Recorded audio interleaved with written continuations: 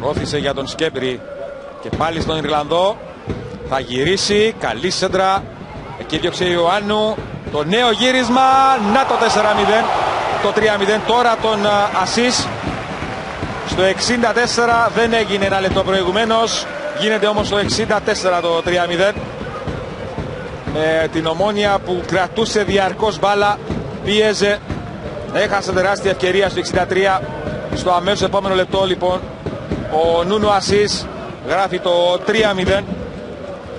Αυτό είναι το δεύτερο γκολ του Πορτογάλου στο κύπελο που είχε σκοράρει και στο Δασάκι Τσάχνα στη ρεβάνση με τον Εθνικό. Απόψε πετυχαίνει το τρίτο γκολ για την Ομόνια.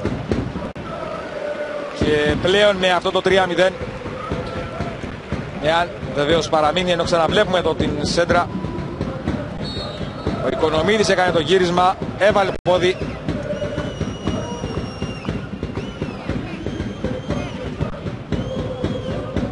Ξανά εδώ το γύρισμα. Παρέμβαση του Ασίς και 3-0.